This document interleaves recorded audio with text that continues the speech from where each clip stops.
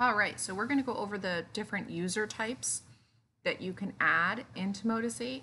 So over here on the left, you can see this tab that says users.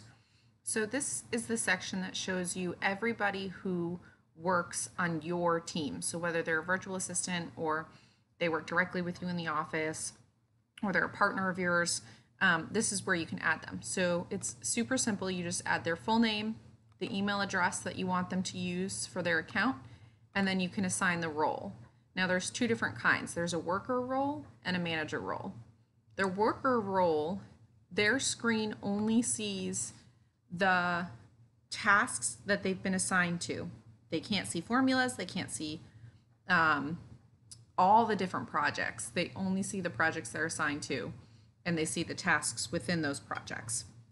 And then a manager role is almost identical to an owner's role, except right now they don't have access to be able to add credits to the account and they can't delete formulas at this moment.